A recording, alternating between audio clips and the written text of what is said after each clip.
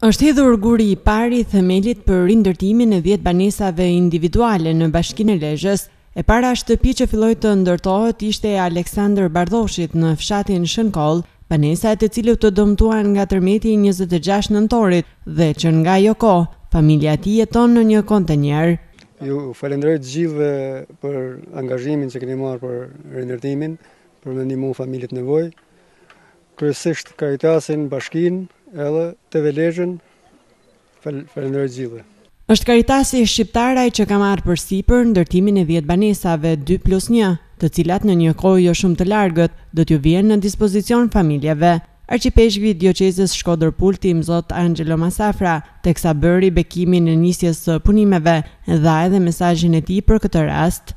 Dhe falenderoj Zotin, falenderoj ekipin Caritas është duke bërë dhe falenderoj Bashkinë, që së bashku me shtetin kemi arritur për të na lehtësuar se këto punime janë në bashkëpunim me shtetin edhe me Caritas Kombëtare dhe me dhe me me bashkinë.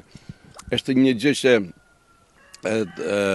Kisha Katolike Ka qënë gjithmonë është afër, ju e dini shumë mirë, afër nevojtarëve dhe ka qënë, kemi qënë shumë afër atyre që kanë vuajtur nga tërmeti, e kjo bekimi sot të kësaj shtëpi që do është e para se do të vazhdojnë dhjetë shtëpi tjera në dhe në në rrethin e Lezhës që të ndërtojnë me këto Mundësitë që na kanë na kanë dhënë bamirësit që janë këto ente të gjitha të ndryshme janë karitas të ndryshme europiane, botërore që në kanë ndihmuar, pikërisht që të jemi afër tyre në që në bashkëpunim me shtetit, kështu krijohet sinergjia thuhet.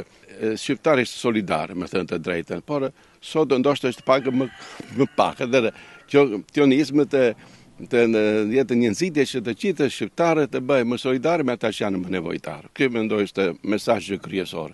Ndërkohë kryebashkiaku Pjerin Ndreu teksa falënderoi Caritasin dhe gjithë investitorët që po iu vijnë në ndihmë familjeve të prekura nga tërmeti, tha se deri në fund të këtij viti në Lezhë do të mund të strehohen një pjesë e mirë e familjeve.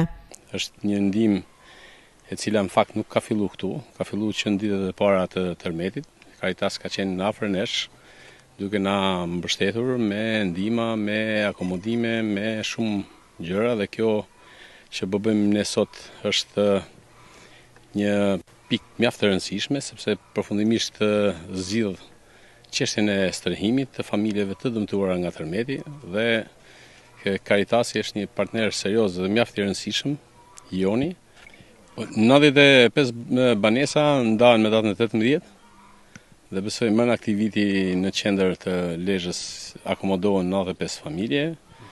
Pastaj tani jemi në procesin e, e shembjeve të shtëpive individuale dhe të prokurimit të rindërtimit. Disa kanë shfaq dëshirën të ndërtojnë vetë, disa tjerë do t'i bëjmë ne si, si bashki, në bashkëpunim me Ministrinë e Integrimit, Ajo që duhet thënë është se gjitha rastet janë adresu tashmë dhe janë vu në rrugën e zgjidhjes.